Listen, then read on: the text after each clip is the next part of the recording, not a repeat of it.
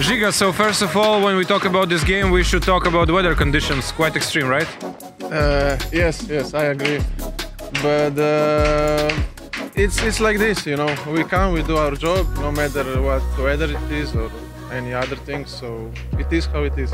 You think it's also like a good challenge to play in such uh, conditions? Uh, really not usual. Uh, of course, it's um, you need to adapt. Uh, but anyway, for our game doesn't change much because we play with short passes. So of course, sometimes it's it's disturbing us, but um, not not too much.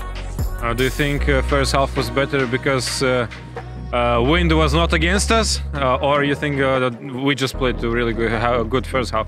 No, I think was not because of the wind. Um, I think first half yeah was like very good, but also second half uh, was not bad. So I think wind was not the reason we play good. Uh, what can you say about Panevėžys? Panevėžys is one of the best teams at the moment in La Liga. Good opponent.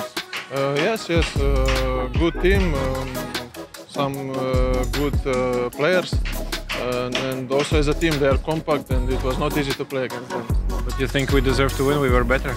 Yeah, I think we deserve to win with uh, much more goals than only one. Also for you as a defender, nice uh, not to concede any. Of course, of course, this is uh, the sweetest for us.